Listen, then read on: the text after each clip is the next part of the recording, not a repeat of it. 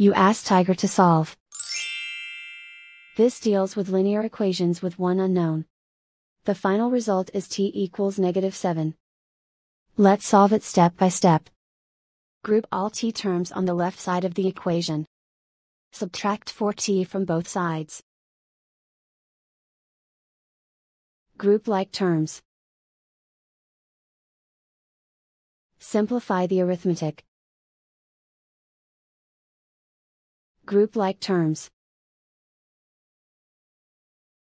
Simplify the arithmetic. Group all constants on the right side of the equation. Add 3 to both sides.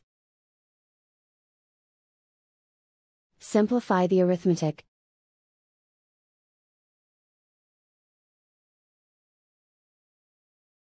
And so the final result is t equals negative 7.